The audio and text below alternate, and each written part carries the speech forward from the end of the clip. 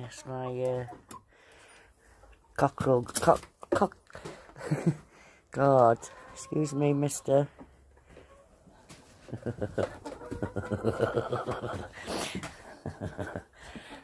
mm. ah! that was quick.